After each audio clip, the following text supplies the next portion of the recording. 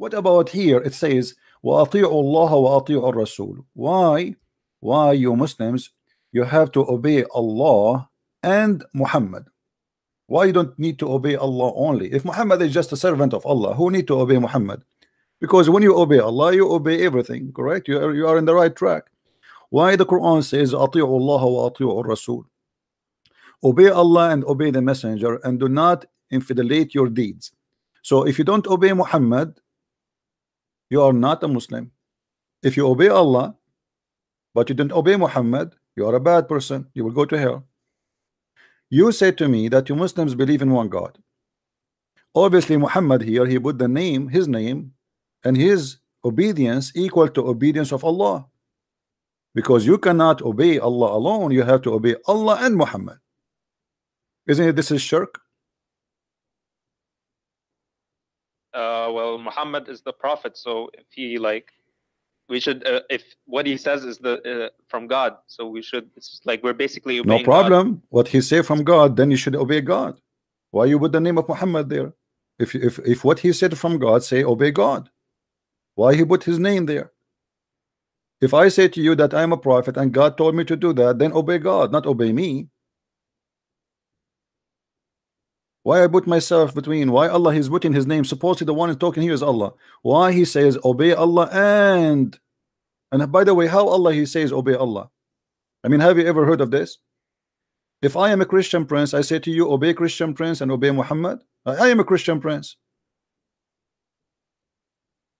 Well, God is speaking in in third person here because uh, to like sig like uh to I don't know like I think to sig- signify power. No, it's like he's sort of uh like you know like and uh, uh like speaking when when it says we in the Quran, it does not mean that there's multiple gods. It's it's one God, but he's using the royal we. Royal we. So Allah is is is seeking royal. Allah is seeking royal, the No, God Almighty. He is changing his definition by saying we because a King Hussein he said um, we. Is that a, is that really a, a reason? If he is one, why he say we royal? Allah is trying to speak like the kings, but any king can say that we. This Well, is the- this the is a false. No, listen, listen, listen, listen, we- listen, listen.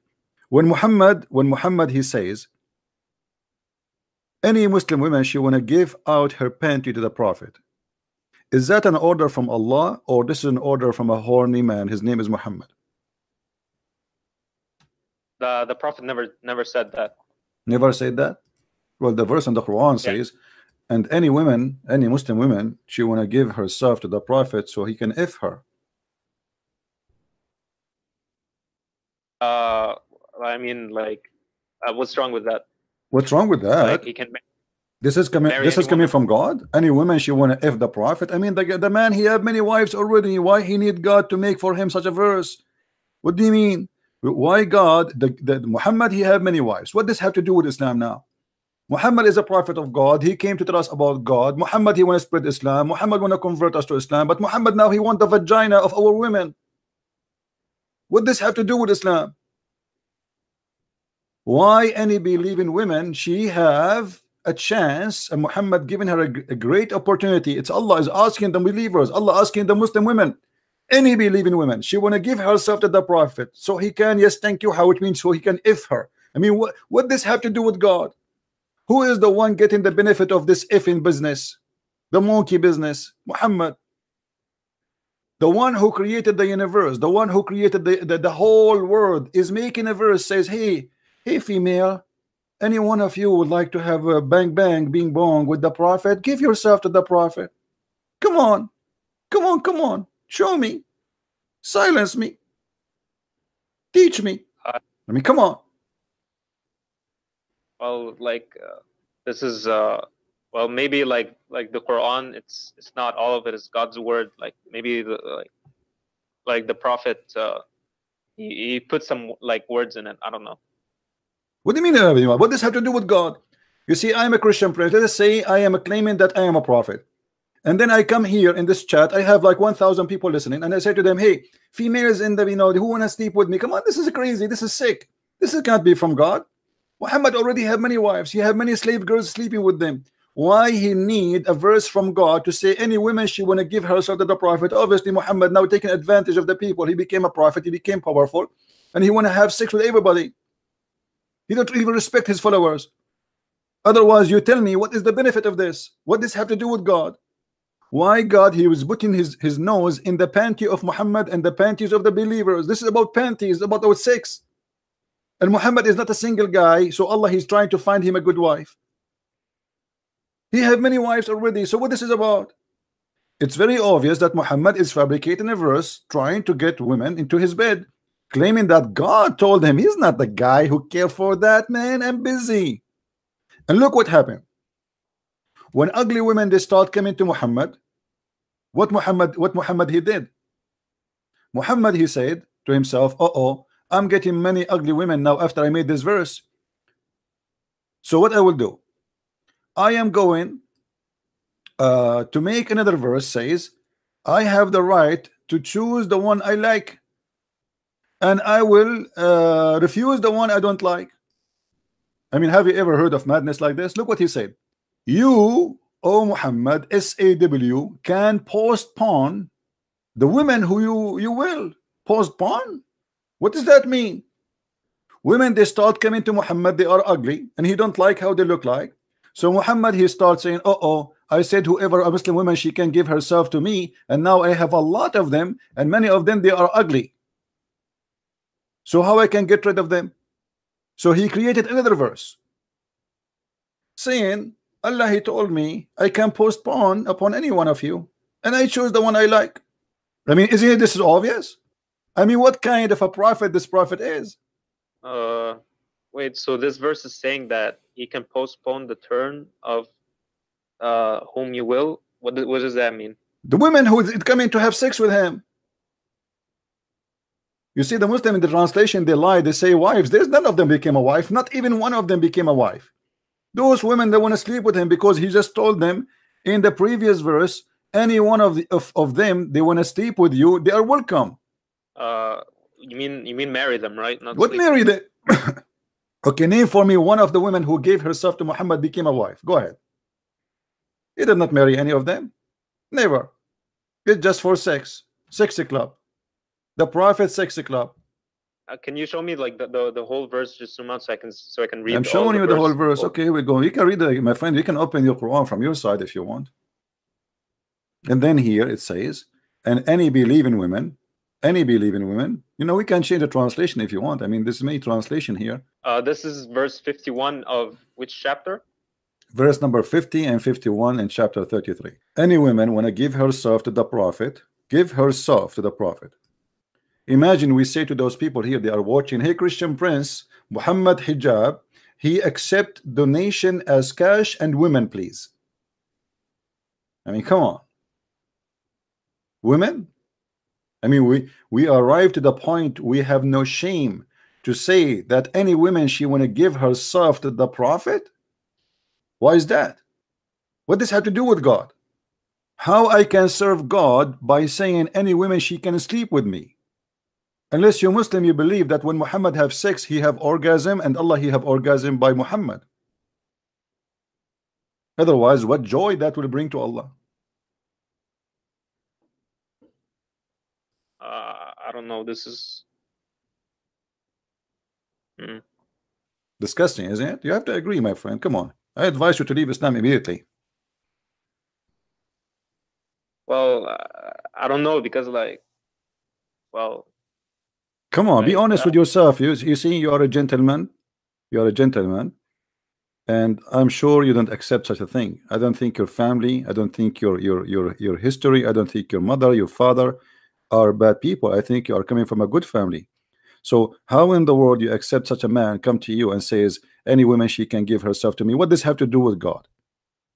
What servant I'm doing to God by sleeping with Muhammad? Be honest with yourself, my friend. You see, I'm not against you. When I talk to Muslims, Muslims they think I hate them. I don't hate Muslims. I will never hate them. My Lord, he, he, he ordered me to love everybody. So I am here trying to help you to show you that what you believe in is a scam. This man is not speaking for God. He's speaking for his panty. He's speaking for his private part. What the point of this? You see, Giving charity, I understand why giving charity is very good. Helping others is very good. But uh, and uh, you know all good things to do for others are very good, but to do it for Muhammad, it's about sex. And you will see here it says it's a privilege only for Muhammad. This is a privilege only for Muhammad. Why Muhammad he needs such a privilege? What that privilege will will will, will do for him? What that privilege would do to God?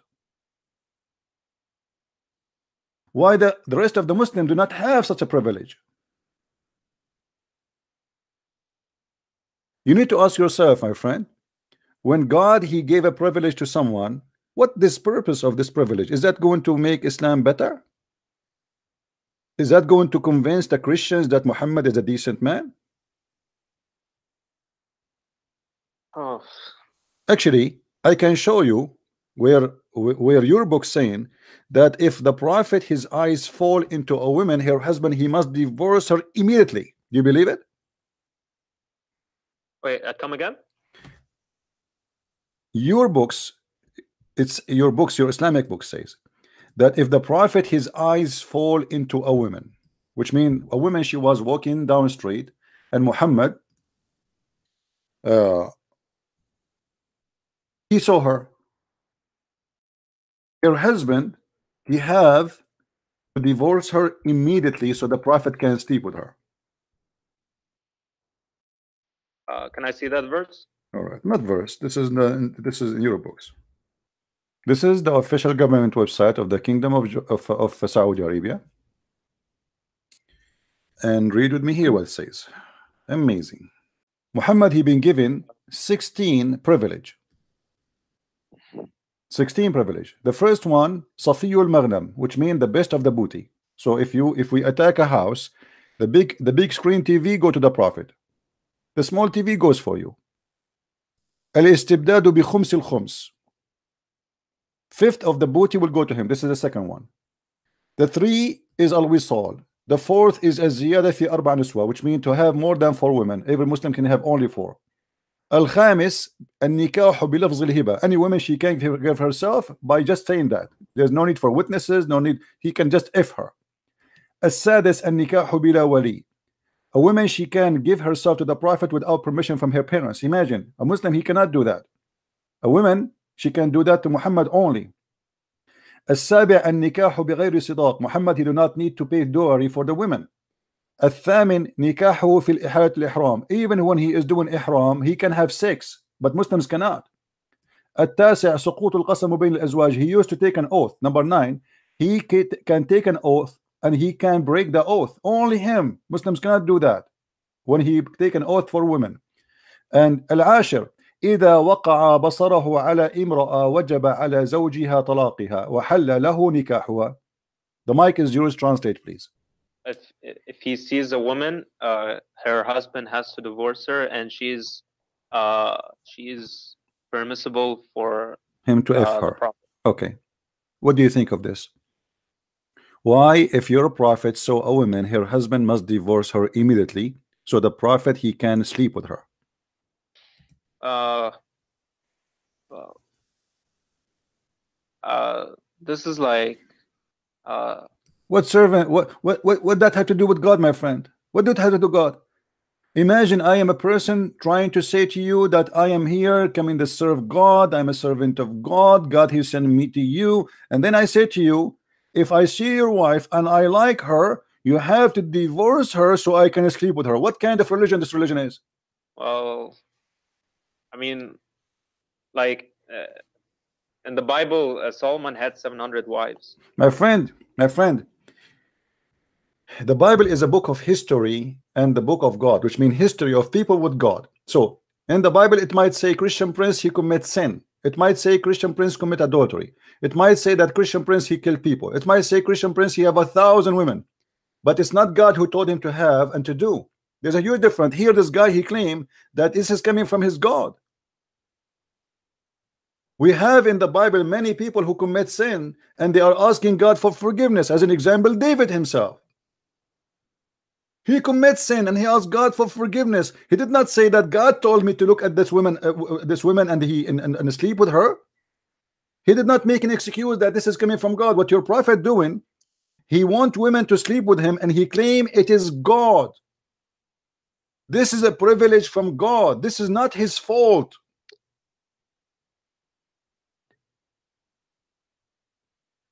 Uh, yeah, I mean, I think I think you're right. This is like wrong. So, my friend, thank you very much. You see, you are a decent man. This guy, I told you, I, I have a feeling about about people. You know, this person is coming from a good family. There's no way his owner will accept such a thing. If Muhammad tried to do that to your wife, I'm sure you will kill him because you have an honor. You are not a trashy person who will accept such a thing. You have dignity. Yeah, this is wrong. So denounce Islam, my friend. Say Islam is obviously Muhammad is a false prophet. That's it. Get out of this cult. They fool you. They say to him, he's a trustworthy. He is the good guy. He is the perfect man. He is the perfect between the best of mankind. They worship him. They made him in a in a point that nobody even dare to question his honor. But the second we start reading, and we did not even read much, there is tons of stories. Disgusting. We are just scratching the surface outside, and look what we found. And as long as you agree that this is wrong, that's mean Muhammad cannot be a prophet. Correct, my friend? Uh, yeah. Thank you very much. I'm so happy for you that you decide to leave Islam. But like, I, I don't know, like, if Islam is wrong, then, then like, uh, like, what's what's the truth? Like, My friend, I don't know because my I've friend, been raised. I advise you, I advise you to go and download the, the Bible, the, the, the New Testament, because the New Testament is about Jesus and his teaching. The Old Testament is history and a lot of history. Read the teaching of Jesus and see what Jesus is about. Muhammad, obviously, he's a person working for his own. He, he opened a corporation, he put the title God, but the fact behind the title, there's something else. There's someone trying to use you and abuse you and take advantage of you. Read about Jesus, you will see it's the opposite. You are the one who said to me the Christian believe that God died for them. So look, look, look, look how different is Jesus and Muhammad. Jesus, he came to us to save us, and even his life paid to save me. He did not ask me for return. And look at this guy, he wanted to sleep with my wife. Jesus he did not ask for money. Imagine if Jesus he can raise people from death. How many kings they will give him everything they have? All the kings in the world they will be his slaves. Just keep me alive, please. Each time I die, keep me alive. If Jesus want to abuse his power, which is beyond imagination, what Jesus can do. So I invite you right now, my friend, to accept the Messiah as your Savior. You breathe, but there is no guarantee that you will breathe tomorrow. Maybe you are young, but don't worry. There's many people they are young and they die before the old one. Maybe you are 10 years old, maybe you are 50 years old, maybe you are 18 years old, but death come any moment, any second. And then you will not earn your salvation. I invite you right now as we speak to accept the Messiah, the amazing teaching of the Messiah, the Savior, Yeshua, the Messiah, Yeshua al-Masih, the only Savior, the one who says love your enemy, the one who said it's been said to you, but I say to you, for he have the authority. If somebody asks you for your code, give him your address. If somebody asks you to walk a step with him, walk with him 1,000. If somebody curse you, pray for him. Don't curse him and kill him. He did not say to people, give me your women. He did not say, give me your, your, your, money. God do not need money. And even servant of God. The second a man he work to serve money, it's mean he is serving the devil. The second a man he serves sex, it's mean he is serving the devil. You see, all of us we are sinners, and me and you we are not better. We we get tempted. We get tempted by women. We get tempted by by by sex, by by by money. But we don't claim that God is telling me to do that. That's disgusting. That is an insult to God. If God is a true exist. So I invite you right now, my friend, to accept the Messiah as your Savior. And you cannot say one day, I never heard of you, the Messiah, because one day the time will come and the Messiah will ask you, Did the person, his name is a Christian prince, say to you, I invite you to accept me as your savior, and you said no?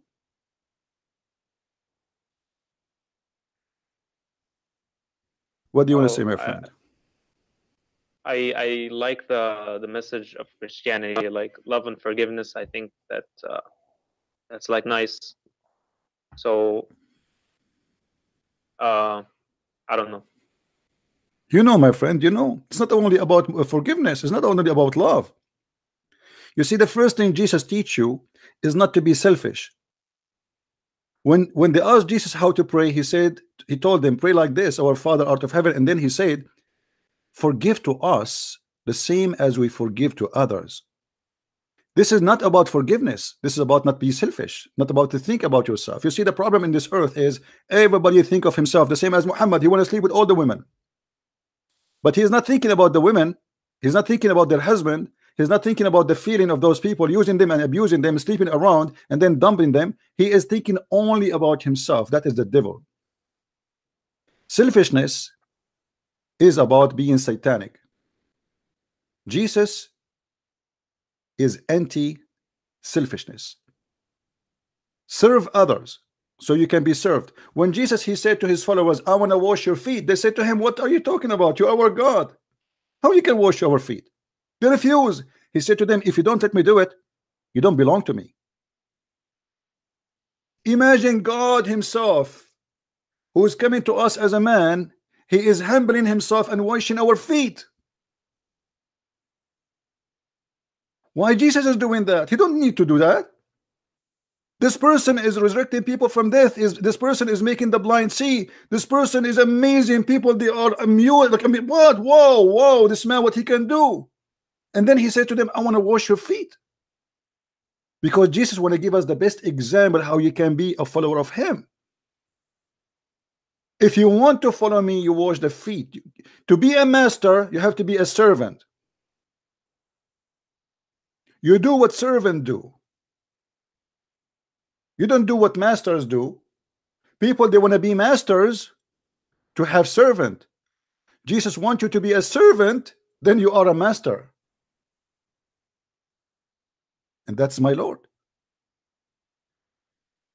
So I truly, from my heart, my friend, I invite you to accept the Messiah because this is an opportunity. It might not come to you again.